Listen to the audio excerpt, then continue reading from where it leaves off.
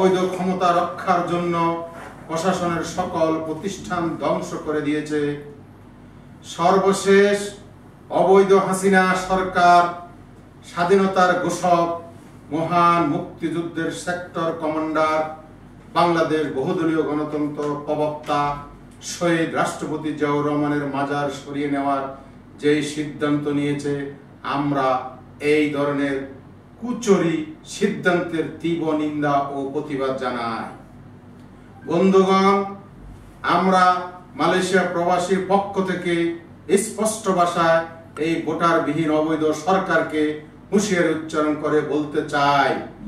মানুষের আকাঙ্ক্ষার প্রতি শহীদ রাষ্ট্রপতি জিয়াউর রহমানের মাজারে হাত দিলে শুধু বাংলাদেশ নয়, মালয়েশিয়া সহ সারা বিশ্বে আগুনের লেলিহান শিকায় সারকার হয়ে যাবে এবং অবৈধ সরকারের পতন অনিবার্য করে তুলবে।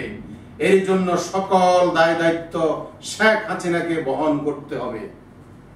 বাংলাদেশ জাতীয় দল বিএনপি মালয়েশিয়া কেন্দ্রীয় কমিটির পক্ষে নিবেদক মোহাম্মদ আমি মোহাম্মদ শহীদুল্লাহ, সভাপতি বাংলাদেশ জাতীয় দল বিএনপি মালয়েশিয়া কেন্দ্রীয় কমিটি, বাংলাদেশ জিন্দাবাদ, শহীদ জিয়া অমর হোক খালেদা জিয়া জিন্দাবাদ তারুণ্যের অহংকার তারেক জিয়া জিন্দাবাদ বাংলাদেশের সতেরো কোটি মানুষ।